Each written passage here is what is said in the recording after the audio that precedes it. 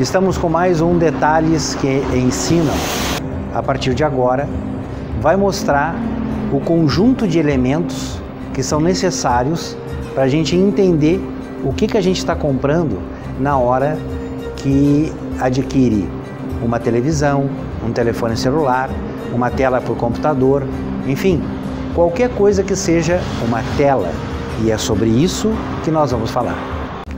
Nos últimos vídeos, falei sobre tamanho da tela e também como se mensura, a forma que se mensura.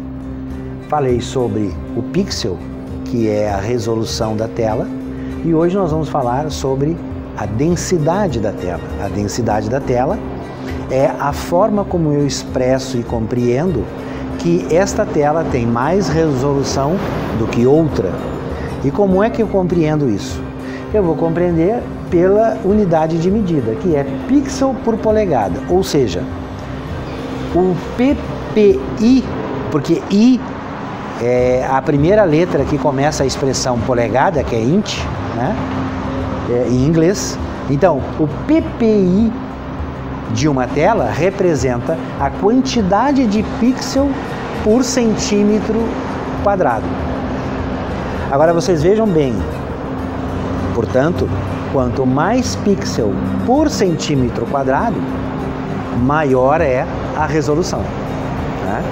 Então, você quando pegar um catálogo ou quando um funcionário de uma loja disser para ti, não, essa aqui tem mais PPI do que esta tela, significa que ele está dizendo que é, tem maior resolução porque o número de pontos por centímetro quadrado é daquela tela e não desta.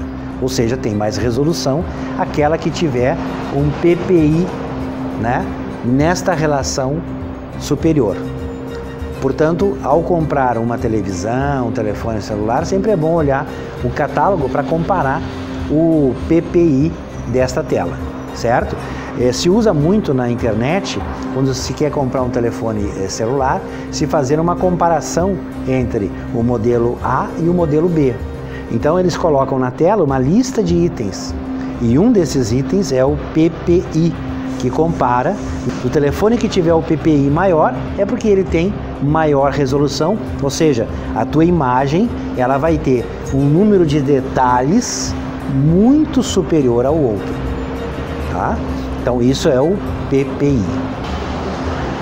Estamos concluindo essa parte e observem que sempre às 16 horas no site Zanirate Audiovisuais nós teremos também um texto, nós temos um texto é, publicado, que será sempre publicado às sextas-feiras, 16 horas, que dá com detalhes toda essa explicação, se você quiser se aprofundar no conteúdo é, desses itens que nós aqui abordamos. Detalhes que ensina, encerra aqui e aguarde até a próxima sexta-feira. Um abraço a todos.